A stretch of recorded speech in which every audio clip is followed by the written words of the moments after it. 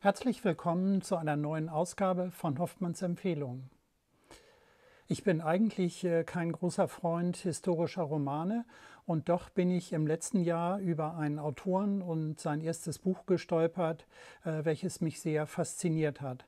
Die Rede ist von Dirk Schümer, Die schwarze Rose. Dirk Schümer hat mittelalterliche Geschichte studiert und arbeitete als Redakteur und Kulturkorrespondent für die FAZ und für die Weltgruppe.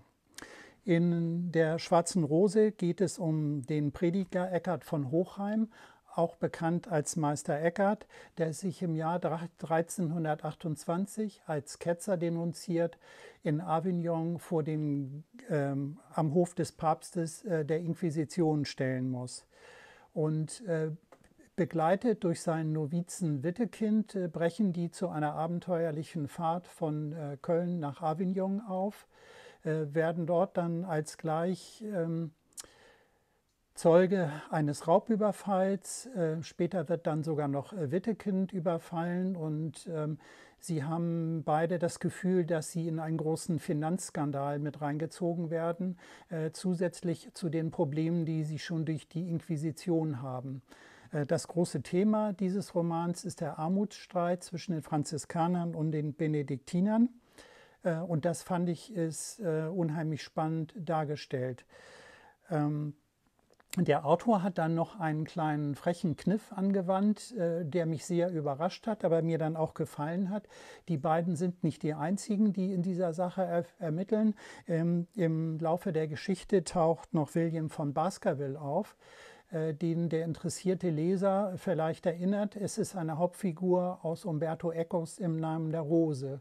Äh, diese drei machen sich dann auf, äh, diesen verworrenen, komplizierten Fall am Hofe des Papstes zu lösen. Sehr überrascht war ich dann, als in, nur ein halbes Jahr später, nämlich in diesem Frühjahr, von Dirk Schümer noch ein zweites Buch herausgekommen ist.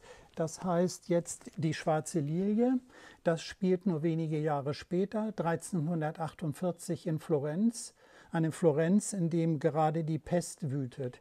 Hier geht es um die Familie Peruzzi. Das ist eine große Bankiersfamilie, die unglaublich reich ist. Ähm, und ähm, dem Bankier werden nach und nach äh, mehrere seiner Söhne ermordet. Und äh, das führt dazu, dass er Wittekind zu Hilfe holt, äh, der die Hintergründe zu diesen Morden aufklären soll. Ähm, dazu muss er ziemlich große Reisen sich ziemlich großen Reisen stellen und hat auch die ein oder andere gefährliche und abenteuerliche Sache zu bestehen.